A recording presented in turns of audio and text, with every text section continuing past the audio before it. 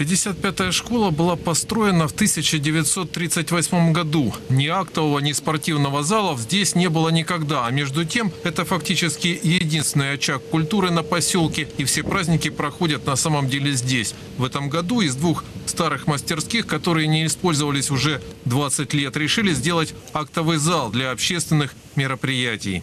На культурное мероприятие приходили и жители поселка, и близлежащих магазинов. Ну, кто все, все, кто находится рядом со школой.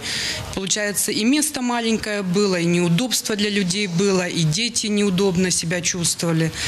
Ну, мы наконец дождались актового зала, что теперь и дети могут свободно выступать здесь, заниматься, и люди могут подойти и посмотреть мероприятия, которые здесь проводятся. Зараз, коли з'явилася актова зала, діти матимуть змогу влаштовувати конкурси, брати в них участь, відкриються нові мистецькі гуртки, і загалом діти будуть більше розвиватися, що і потрібно молоді нашого часу. Взагалі школа є культурно-діловим центром для нашого селища, і є вже доброю традицією те, що школа проводить е, такі загальноселищні свята, як День міста, е, 9 травня, Масляна, ярмарки. Е, Людям десь треба теж проводити свій досуг. І вони всі тягнуться до, ш- до школи, до Альма-Матер. Деньги на реконструкцию этого помещения, примерно 450 тысяч гривен, были выделены из городского бюджета. Когда мы сюда зашли на выполнение работ, тут по большому счету была просто разруха. Тут стяжки, полы нужно было делать все с нуля. Полностью все поднимать это помещение заново.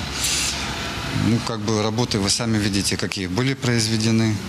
То есть в каком состоянии сейчас это помещение есть. С городского бюджета выделена достаточно большая сумма денег. Это больше полмиллиона на текущие ремонты и порядка 29 миллионов на капитальные ремонты учебных заведений Шевченковского района.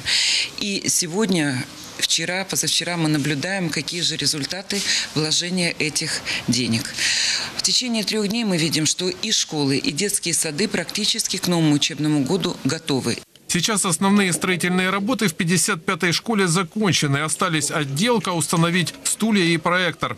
Депутати нам допомогли. Все це депутат е, Запорізької обласної ради Коцюба Віктор Юрійович нам виділив 80 тисяч на улаштування актової зали. Також е, у нас вже є і новий проектор, і екран. Тобто, я думаю, що до Дня міста ми все завершимо. Так что очередной день города рассчитывают встретить уже с новым актовым залом, а в перспективе мечтают поставить ограждение вокруг территории. Так будет чище и безопаснее.